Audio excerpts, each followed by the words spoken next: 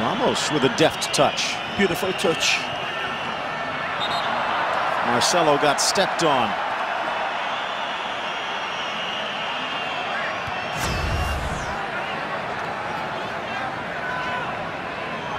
He pulled back first and then unintentionally steps on him.